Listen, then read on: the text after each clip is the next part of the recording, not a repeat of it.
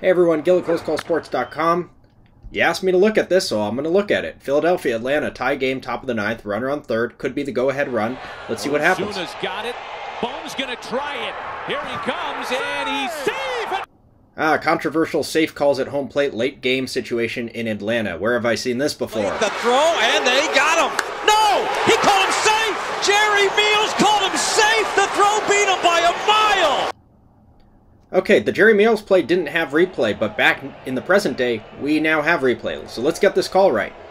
If we go to the replay angle, the question becomes succinctly, did the runner's left foot touch home plate? I can diagram the play and say, did the umpire have the keyhole angle he saw? Did he see it? Did he not?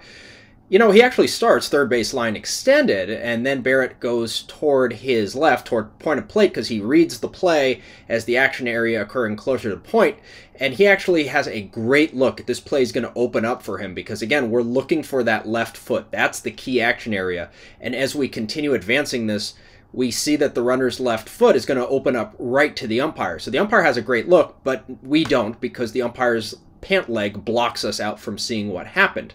So we need to open up another angle.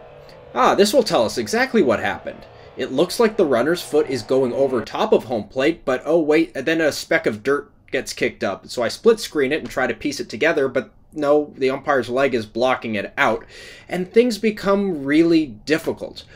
Well, what does the rule actually say? Ah, clear and convincing evidence. That's the standard. So if I try split screen this, the top left, the umpire's pants in the way. The bottom left, the camera angle's too high. I can't tell depth. And the right side, there's a speck of dirt that's getting kicked up that makes it difficult to see.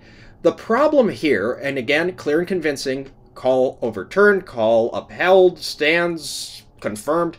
So confusing. The framework is clear and convincing, which basically means I need to prove a negative. I need to prove that the runner in this case did not do something, and proving a negative is awfully difficult.